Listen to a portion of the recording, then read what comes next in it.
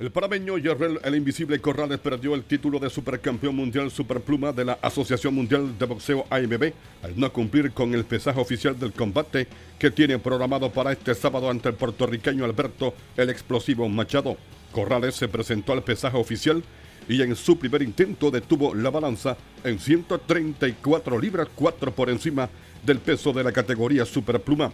Corrales enfrentará mañana sábado en Nueva York, Estados Unidos, a Machado de alcanzar una victoria o un empate, el título quedará vacante, mientras que un triunfo de Machado lo proclamaría como el nuevo campeón de la categoría Superpluma. Una verdadera lástima lo que ha pasado con Jerrel Corrales.